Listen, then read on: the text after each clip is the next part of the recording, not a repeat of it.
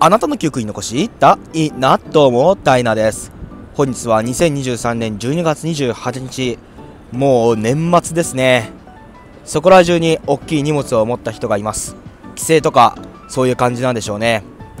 で本日12月28日からこの東京駅に乗り入れてきている東海道新幹線ののぞみ号がなんと来年の1月4日まで全車指定席となります。通常はですねのぞみ号1号車から3号車が自由席なんですけども今年の年末から来年の年明けにかけて全車指定席になるんですね。で今日はですねその全車指定席になったのぞみ号の様子をですね皆様にお届けできたらなと思います。それでは本日もよろしくお願いします。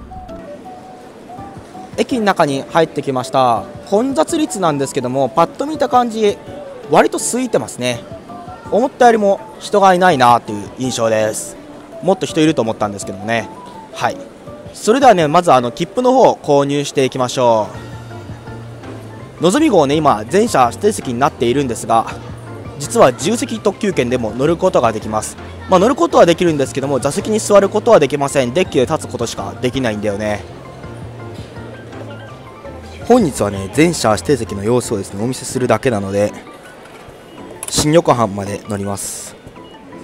新横浜まで乗れば十分でしょう。切符の方ね購入してきました。そしてこちら新幹線の改札口になるんですけどもその改札口の脇には本日のぞみ号が全車指定席での運転ということが記されています。またここのモニターだけじゃなくて隣のですねモニターも本日のぞみ号が全車指定席で運転されているという、ね、趣旨が書かれていましたね。また下には重席特急券でのぞみ号に乗車される際はデッキのみの利用となるというふうに書いてありますね。ここからもですね入ることできるんですけどもせっかくならね在来線との乗り換えの方も今ねどうなっているか気になりますのでそっちの方にね向かってみようと思います。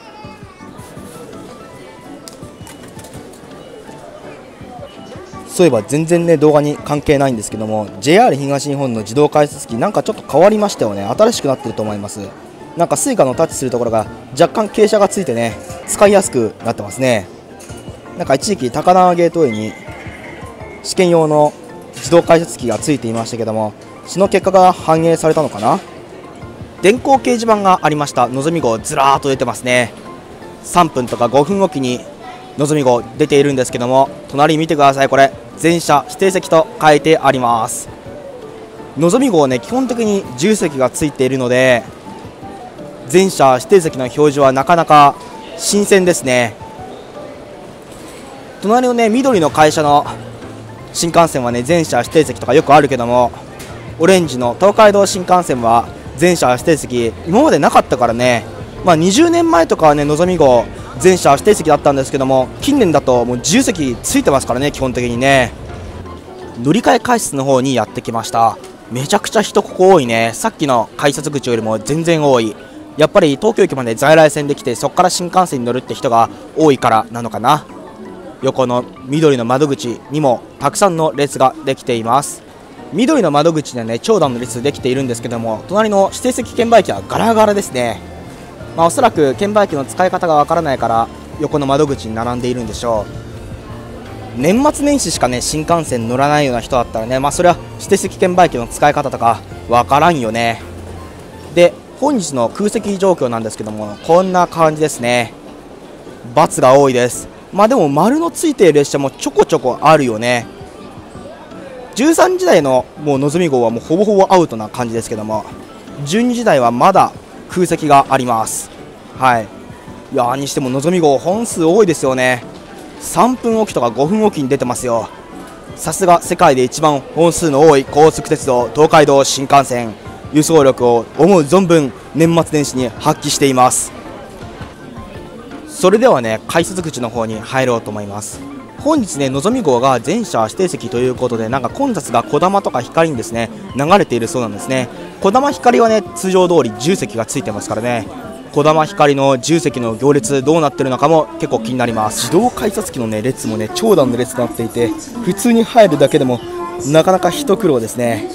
しかもみんな年末年始しか使わない人は鉄道に不慣れなので結構手こずってます。改札の中もすごい数の人ですね。ホームに行くのもちょっと一苦労ですわ。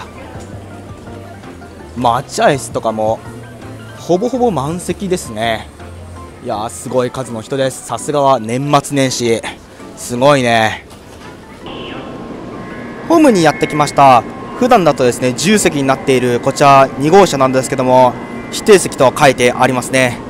また指定席ということで普段は長蛇の列になっている1号車から3号車の自由席なんですけども見てください。誰一人として並んでいませんね。年末年始の1から3号車にこんなに人が並んでいない様子を見るのはすごい新鮮ですね。さすがは全車指定席です。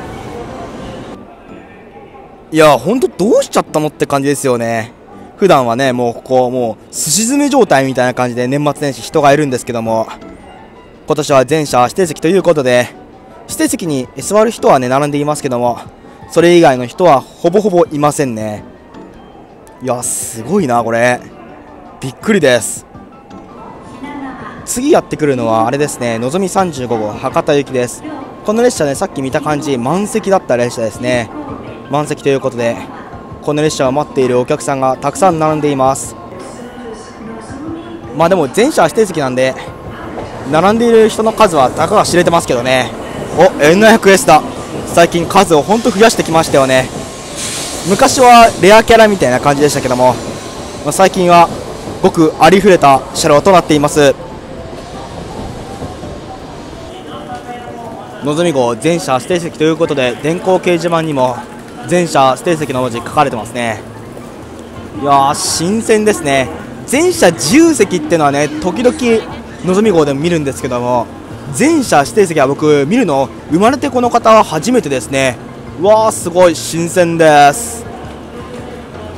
そういえば東海道新幹線にはねもともと車内販売があったんですけどもなんか3ヶ月前ぐらいになくなってしまってホーム上の自販機に変更されましたよね。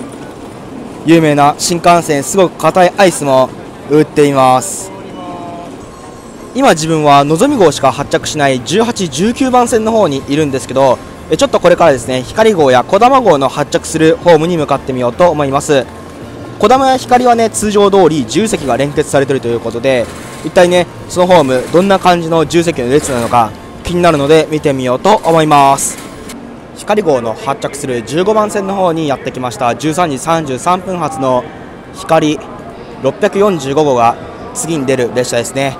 こちらは重席がちゃんと連結されていて1号車から5号車が重席となっています。51分発ののぞみ号はちゃんと全車指定席の表示となっていますね。14番線にね今13時9分発ののぞみ号が止まっているんですけどもなんか全然乗らないんですよねお客さん。でよくよく考えたら次にこだま号があるんですよ。で6号車ねこだま号10席がついてるんですけど多分そのお客さんだと思います。結構乗る人いるんですね10席に。やはりのぞみ号に10席が今年は連結されていないからなのかな。ということでこだま号やってきましたね。いやにしてもどの号車も列がそこそこ長いです。隣のあの15番線の光号の10席の列もそこそこ長いですね。まだ発車まで20分以上ありますけども。光号やってきましたね。この光号速い光号で小田原までは各駅に止まるんですけども小田原の次はもう名古屋まですっ飛ばすやつです。静岡飛ばしの光号ですね。多分この光号重積すごい人気なんじゃないですかね。この列車折り返して清掃作業入るんで清掃作業中どれぐらい重積の列が伸びてるか見てみようと思います。光号のね行列なんですけどもやっぱり割と長いね。でも例年ののぞみ号のね自由席の列と比べるとまあ圧倒的に続いてると思いますね。うん。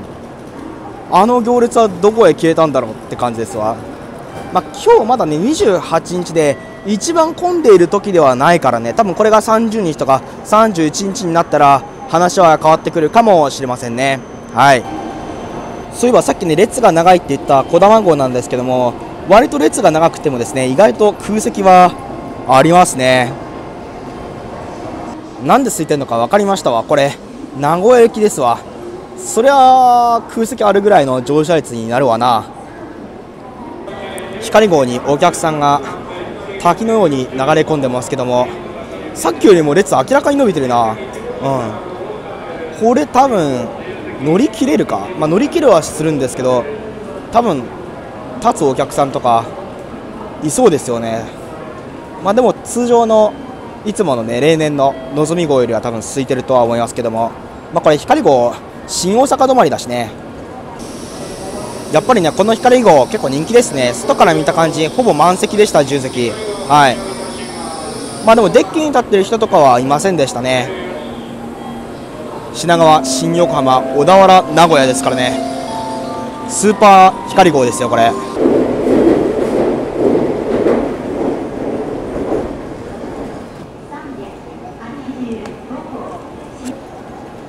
再びのぞみ号の発着する18、19番線の方にやってきました。そろそろですねのぞみ号に乗って新横浜の方移動しようと思います。まあ、本日はね何度も言ってるようですが全車指定席のため座席には座らずデッキに立っていきます。果たして同じような感じでデッキに立ってのぞみ号に乗る人はどれぐらいいるんですかね。ちょっと気になるところではありますけども。えマジで？え？のぞみ広島行きって何あれ？え？号数書いてないじゃん。ななんかバグってんだけど。えなんでこんなことなってんの？え？号数も自由席か指定席かも書かれていません。こんなことあるんですね。初めて見ました今度は行き先が消えました。あと思った。ら両方つきましたね。はい指定席です。全車指定席。自由席はありません。それにしてもね全車指定ののぞみ号ってなかなか違和感がありますよね。だいたい1から3号車10席ついてますからね。今年の年末からの光景です。まあ年明けて1月5日になったらね10席復活するけどね。はい。ということでこの13時48分発の広島行きに乗りましょう。それじゃあねもうすぐ出るので乗ります。車両は N900S でしたね。はい。で11号車の、ね、デッキは割と広いのでちょっと過ごしやすいです。同じような感じでデッキに乗ってる人は全くいませんね。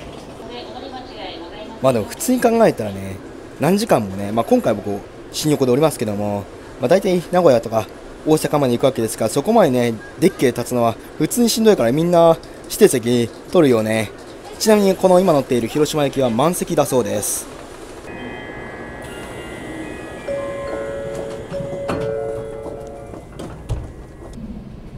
ということで始発の東京駅を出発しましたね。自動放送とかちゃんと全車指定席に対応しているのか非常に気になるところではありますね。ホーム上はたくさん人がいます。さすが年末年始ですね。いやーにしても N700 の加速はいいね。素晴らしいです。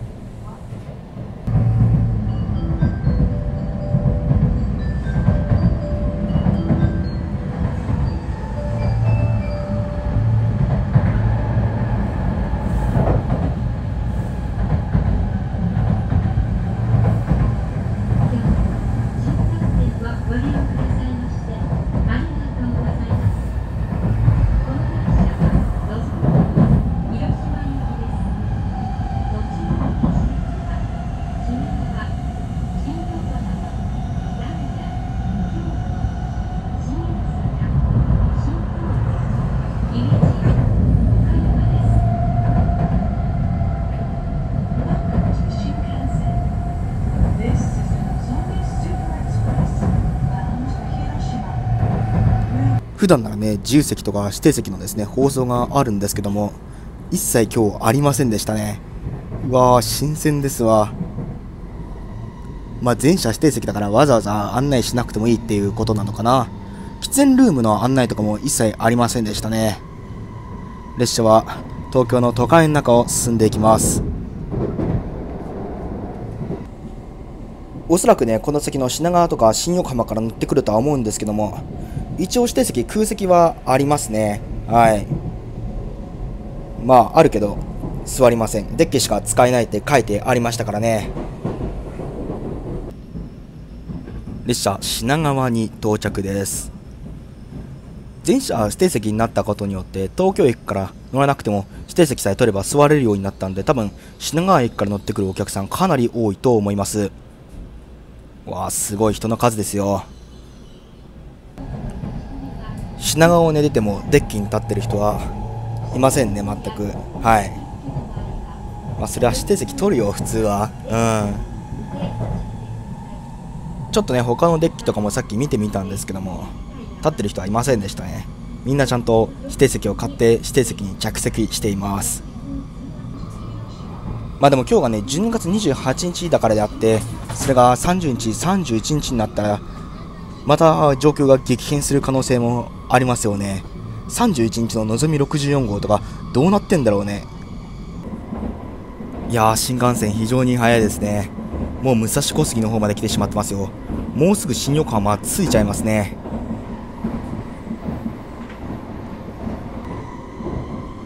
このね武蔵小杉の辺りのジョイント音ね自分結構好きなんですよ。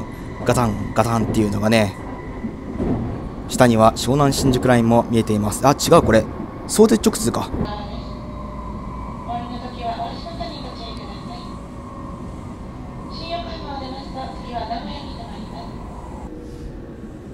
あっという間に新横浜駅到着しましたね。おお新横浜駅のホームお客さんたくさんいますね。ここからは名実ともにちゃんと満席になりそうです。